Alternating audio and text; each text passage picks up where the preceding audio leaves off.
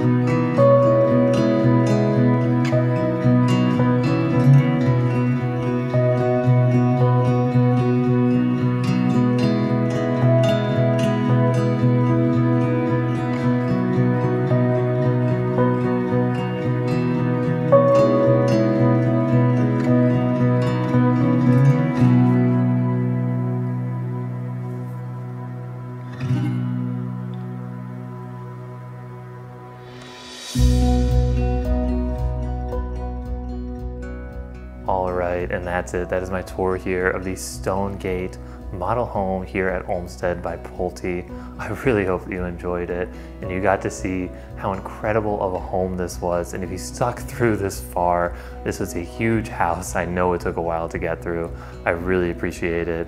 If you're considering moving to the Charlotte area and you need help finding your next home, navigating the new construction process, reach out to me. I'd love to be a resource for you. Love to help you, like I've helped many others, relocate or buy their first home here in the Charlotte area. Whether you're looking Fort Mill, Rock Hill, South Carolina, or all the way up in Mooresville, Troutman, the north side of Lake Norman, I'd love to help you out. So I look forward to hearing from you and please like the video, subscribe to my channel as I do the weekly house tours here, and I will see you in the next one. Thanks, bye.